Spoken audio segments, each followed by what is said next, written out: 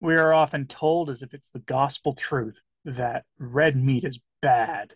It contains all sorts of bad things, and it causes you to have bad things happen to you, to your colon, to your heart, to your blood pressure, to your arteries.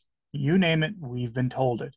Pretty much any modern woe when it comes to our physical health can be attributed to eating red meat. Evil, evil red meat. Of course, nonsense, but we're told that the best thing we can do is have a plant based diet. Eat mostly plants, if not exclusively plants, right? Be vegan, be vegetarian, you know, limit your dairy, limit your meat. We're told, we are promised by the end of the decade that won't, we won't eat meat very often. We're not going to own much, but we'll be very happy because we'll be eating the human equivalent of dog food. And yes, I know dogs are horribly mistreated when they with the food they're given.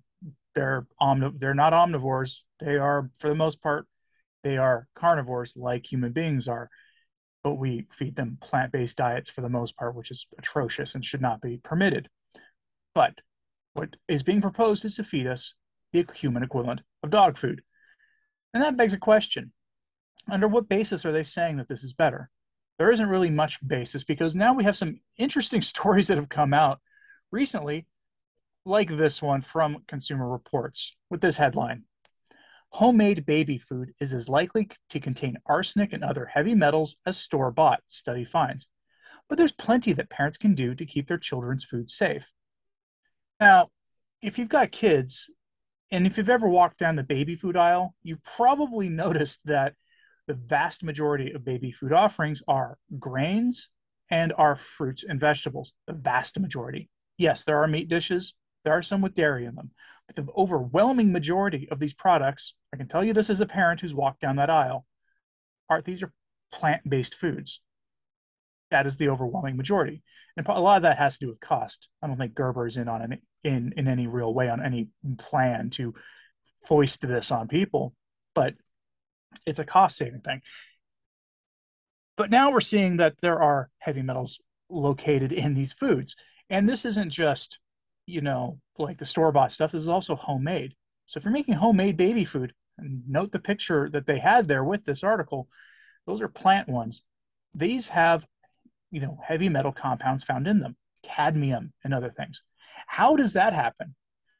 That's it's going to be monoculture, monocropping, modern agriculture, modern farming techniques that are the cause of this the spraying of pesticides and herbicides and other things onto the the grasses or onto the onto the field farm fields to help produce the abundant amount of of plant foods that we tend to eat as people as modern human beings in the modern world.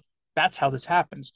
You get that, you get modern farm equipment, you get pollution, you get all sorts of other things, mistreatment of the land, and that is how you get this problem.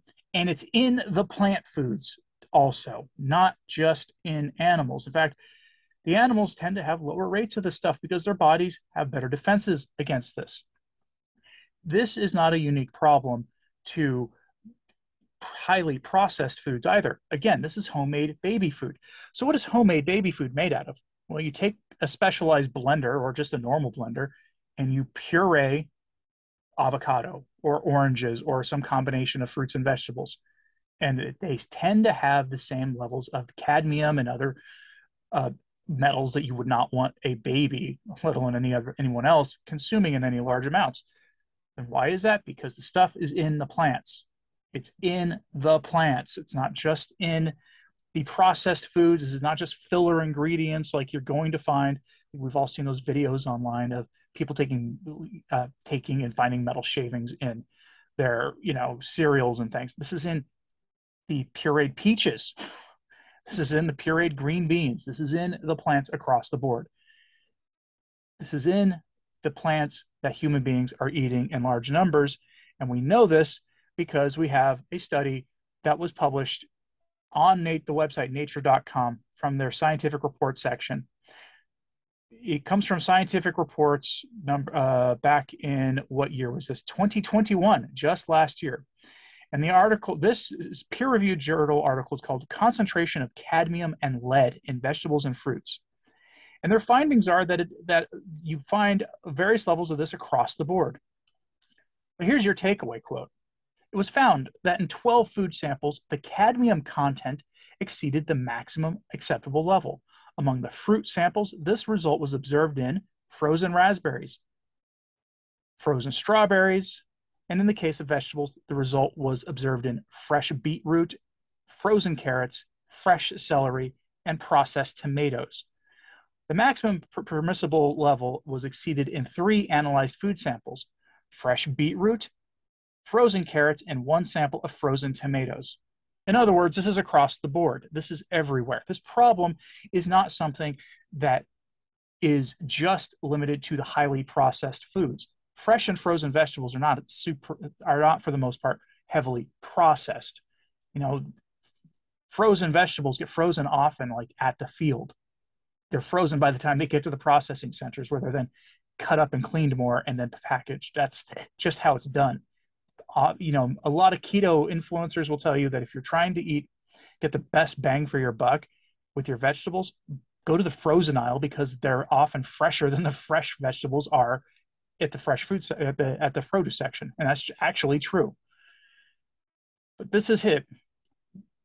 We have cadmium levels above the acceptable level in a whole host of vegetables and fruits. I'm curious what you think about that. I'm curious if you think this helps undermine the narrative of plant based foods. I'm curious if you know anything about cadmium and lead levels in soy, in the grains that we're told to eat more of, and the other things they want to replace our meat with. So let me know if you know anything about this, if you know about these increased levels, because really it looks more and more like an animal based diet, at the very least, if not full carnivore, is a far superior way to go than consuming a whole lot of plants with all these uh, with all these high levels of heavy metal compounds in them. But let me know what you think of this in the comments. Please like and subscribe if you haven't. It really does help. And thanks for watching today.